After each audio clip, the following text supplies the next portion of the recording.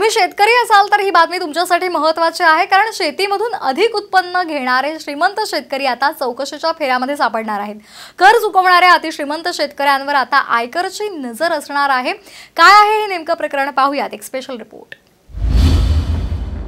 आता बांधावरही पोहोचणार आयकर विभाग.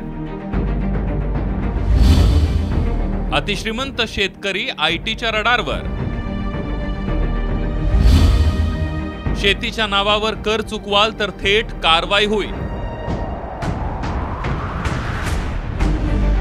राजकारणी आणि उद्योगपती नंतर आता देशातले अतिश्रीमंत शेतकरी आयकर विभागाच्या रडारवर आलेत. आयकर कायद्याअंतर्गत कृषी उत्पन्न करमुक्त करण्यात आलंय. मात्र ज्या शेतकऱ्यांचं उत्पन्न दहा लाखांहून अधिक आहे त्या शेतकऱ्यांची माहिती आयकर विभाग घेणार आहे. संसदेच्या सार्वजनिक लेखा समितीनं याबाबतचा निर्णय घेतलाय. एकोणीसशे एकसष्टच्या आयकर कायद्यानुसार शेतीचं उत्पन्न हे करमुक्त आहे. मात्र अनेक राजकारणी व्यावसायिक बिल्डर हे उत्पन्नातून करमुक्ती मिळावी म्हणून शेतीतून उत्पन्न दाखवत असल्याचा वित्त विभागाला संशय आहे. त्यामुळे हे उत्पन्न खरंच शेतीतून आलंय का हे जाणून घेण्याचा प्रयत्न केला जाणार आहे. अतिश्रीमंत शेतकरी आयकर विभागाच्या रडारवर आले आहेत शेती यापुढेही करमुक्तच राहणार आहे पण दहा लाखांवरील उत्पन्नाची कडक पडताळणी केली जाणार आहे.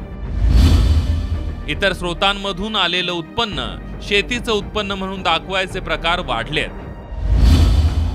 या कर चुकवेगिरीमुळे केंद्र सरकारला फटका बसतोय. असे प्रकार टाळण्यासाठी श्रीमंत शेतकरी आता आयकर विभागाच्या स्कॅनर खाली आलेत.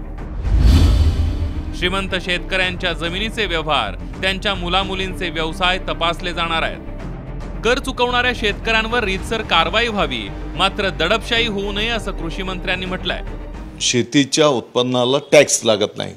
आणि म्हणून अनेक असे महानुभाव आहेत की ते शेतीचं उत्पन्न खोटं दाखवून कागदोपत्री इन्कम टॅक्स विभागाला कदाचित फसवत असतील.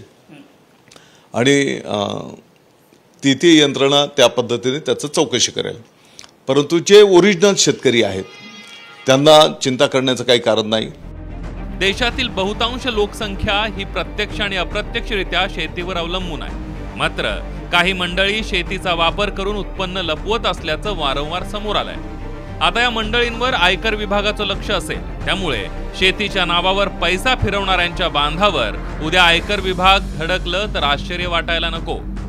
Ramnath Davane Saam TV news Mumbai.